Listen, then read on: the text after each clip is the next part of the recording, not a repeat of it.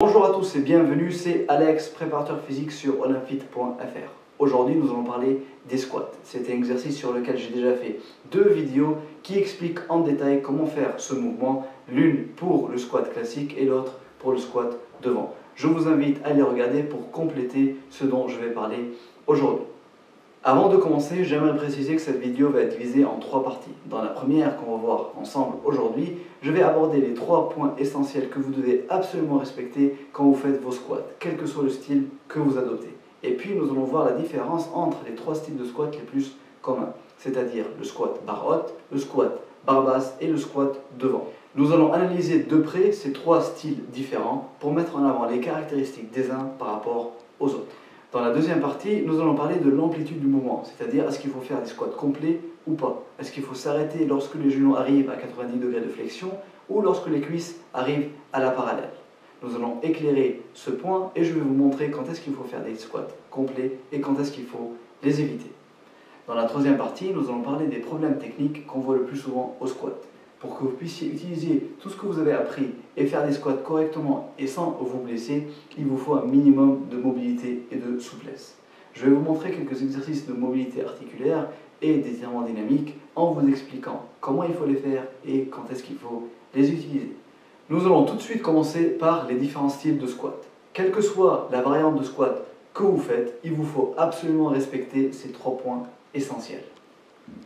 Le premier, c'est le placement du dos il faut que le dos reste bien droit. Attention, ça ne veut pas dire qu'il faut qu'il soit à la verticale. C'est normal de pencher le buste au squat et donc de pencher le dos.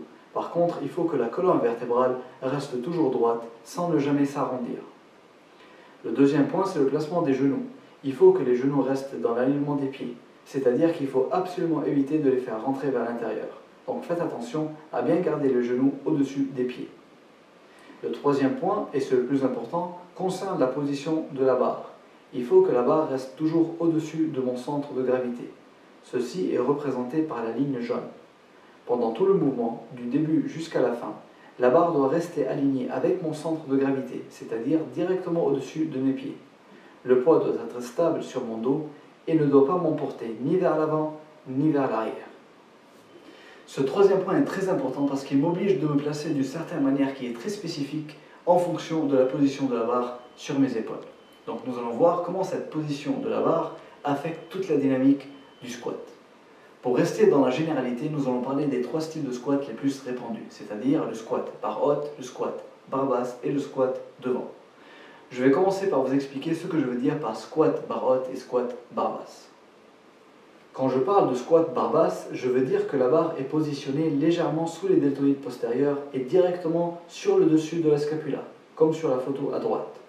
Quand je parle de squat barre haute, je veux dire que la barre est positionnée à la base de la nuque et directement sur le dessus des épaules, comme sur la photo à gauche. Et au squat devant, la barre est positionnée sur l'avant des épaules. Maintenant, nous allons voir la différence entre ces trois styles de squat et puis nous allons voir quel style de squat est le plus adapté pour vous en fonction de votre morphologie et de votre objectif. Comme vous pouvez le voir sur cette image, au squat barre basse, donc tout à gauche, la position de la barre oblige le buste à se pencher vers l'avant pour garder le poids aligné avec le centre de gravité, donc directement au-dessus des pieds. Cela est schématisé par la ligne jaune.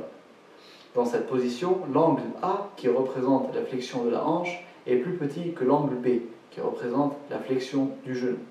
Ce qui veut dire que les muscles de la chaîne postérieure sont plus étirés au squat barre basse que dans les autres styles de squat. Donc les ischio-jambiers et les fessiers sont plus impliqués dans le mouvement et travaillent davantage par rapport au quadriceps.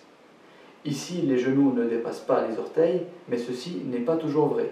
Au squat barre haute et au squat devant, les genoux dépassent les orteils, et c'est tout à fait normal. Vous avez peut-être entendu dire qu'il ne faut absolument pas laisser les genoux dépasser les orteils. Ce n'est pas une règle en soi. Comme vous pouvez le voir, ceci dépend de votre style de squat mais aussi de votre morphologie. L'essentiel, c'est de respecter les trois points que nous avons vus au début de cette vidéo. Pour le squat barre haute, donc la photo du milieu, la barre est positionnée plus haut sur le dos. Dans cette position, le buste s'incline légèrement pour aligner le poids avec le centre de gravité. Comme vous pouvez le voir, l'inclinaison du buste est moins importante qu'au squat barre basse. Notez que l'angle de flexion de la hanche et celui du genou sont à peu près équivalents.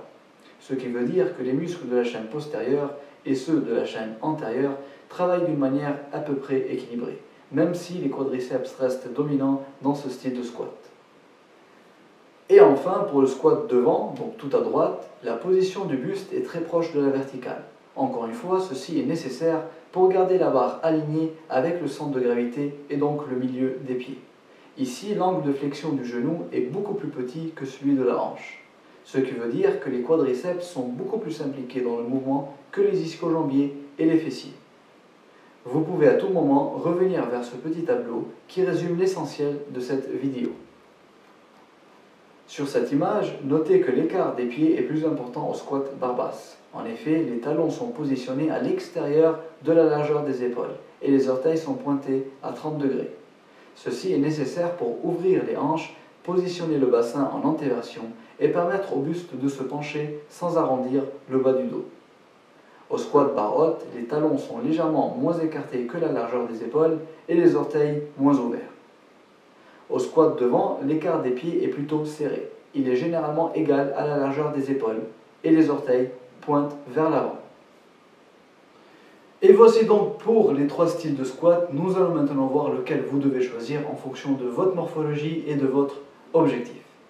Quand est-ce qu'il faut faire du squat barre basse C'est un exercice qui est excellent pour les gens qui veulent soit renforcer leur chaîne postérieure, donc ischio-jambier et fessier, ou bien pour les personnes qui veulent travailler lourd, donc c'est un exercice qui permet de prendre très lourd, et d'ailleurs il est préféré par certains forces athlétistes, soit pour les gens qui ont des douleurs au genou, puisque dans cet exercice, au squat barre basse, la flexion du genou est minimale, et donc les tensions au niveau de l'articulation sont plus faibles par rapport à d'autres styles de squat.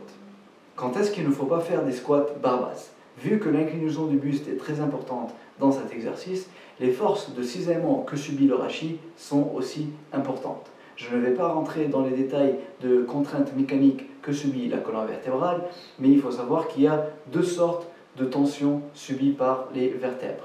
La première, c'est la tension de compression, qui est très bien tolérée par nos vertèbres, et la deuxième, c'est la tension de cisaillement, qui est moins bien tolérée par euh, notre colonne vertébrale et qui peut être problématique chez certains sujets. Au squat barre basse, ces contraintes de cisaillement sont relativement importantes à cause de l'inclinaison du buste, donc peut-être que cet exercice n'est pas le meilleur choix pour quelqu'un qui a des problèmes au dos. Quand est-ce qu'il faut faire des squats devant? Le squat devant est un excellent choix pour les gens qui bien sûr font de l'haltérophilie et qui veulent travailler leur technique d'épaulé jeté.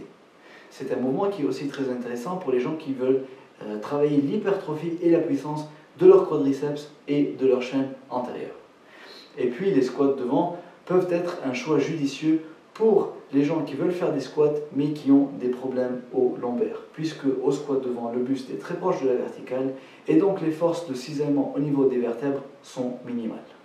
Quand est-ce qu'il ne faut pas faire des squats devant? Vu que la flexion du genou est très importante au squat devant, cela augmente les tensions au niveau de l'articulation et donc cet exercice n'est pas conseillé pour les gens qui ont des problèmes au genou. Qu'en est-il des squats barottes Vous l'avez très bien compris, le squat barotte se situe à mi-chemin entre le squat barre basse et le squat devant. C'est un exercice qui fait travailler essentiellement les quadriceps, mais aussi les ischio-jambiers et les fessiers.